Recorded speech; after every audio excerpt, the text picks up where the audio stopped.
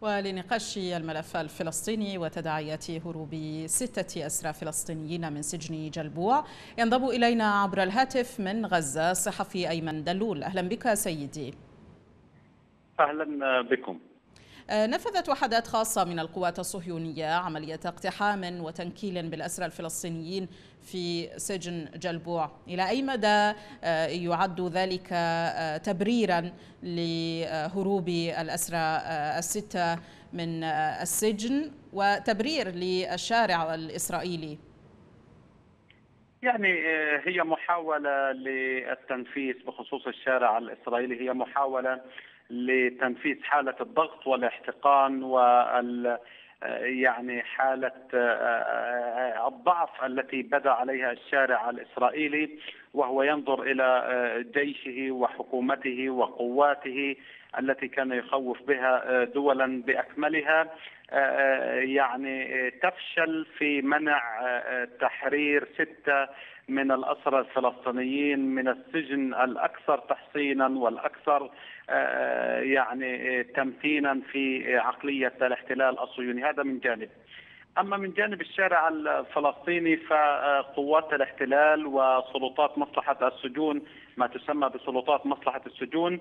يعني لم تكن بحاجة إلى أن يتمكن ستة من الأسرى الفلسطينيين من تحرير أنفسهم من هذا المعتقل لتقوم بممارسة السادية والغطرسة بحق الأسرى الفلسطينيين، لا يمر أسبوع إلا وتنفذ اقتحامات في السجون وإطلاق الغاز المسيل للدموع والتعذيب والإهانات للاسرى في نعم. داخل سجون الاحتلال موجودة على مدار الساعة من قبل قوات وسلطات الاحتلال. لكن ربما تضاعفت بعد آه، آه، هروب الأسرى الستة في ظل هذه الانتهاكات التي آه، ترتكب وتمارس على المعتقلين في السجون الإسرائيلية ما أثر هذا التنكيل على أهالي الأسرى وماذا يمكنهم فعله لإنقاذهم؟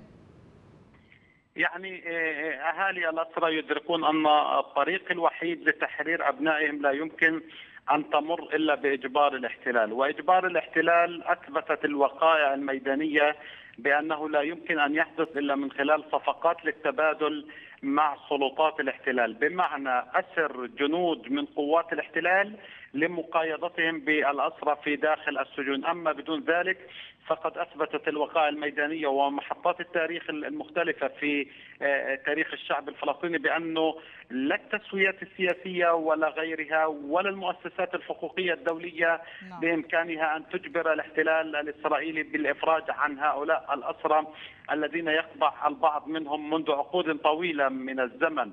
أهالي الاسرى بكل تأكيد يعيشون حالة من القلق حالة من الترقب يتابعون أخبار أبنائهم آه، بشكل يعني يدعو إلى الخوف خاصة آه، وأن العديد من أبنائهم يخوضون معركة الإضراب عن الطعام منذ أيام عديدة. آه، إما لتحسين ظروف اعتقالهم أو للقضاء على الاعتقال الإداري الذي يمارس بحقهم ويعتقلون دون أدنى تهمة من قبل قوات الاحتلال.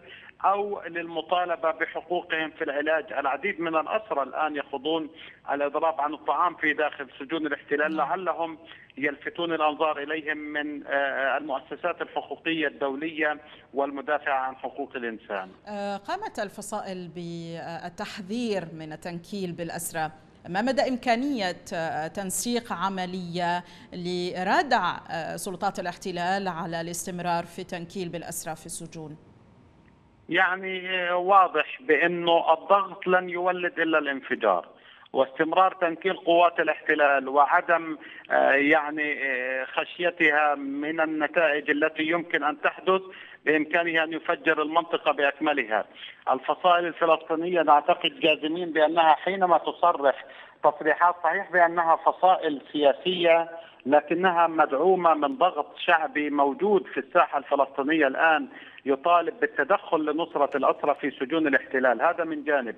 من جانب آخر هي ترتكز على مرتكز مهم وهو غرفة العمليات المشتركة لفصائل المقاومة الفلسطينية التي بدورها باستمرار تؤكد بأن الاسرى خط أحمر لا يمكن تجاوزه وتحذر سلطات الاحتلال من مغبة الاستمرار في الغطرسة وانتهاك الاسرى حرية الاسرى في داخل السجون المختلفة. فبالتالي كل شيء وارد في الوقت الحالي كل شيء وارد في حال استمرت قوات العدو الصهيوني باعتداءاتها على الاسرى يعني لا نستبعد أن تشتعل المنطقة على قوات الاحتلال وبالمناسبة الاحتلال الإسرائيلي وقيادته يدرك هذه الحقائق جيدا.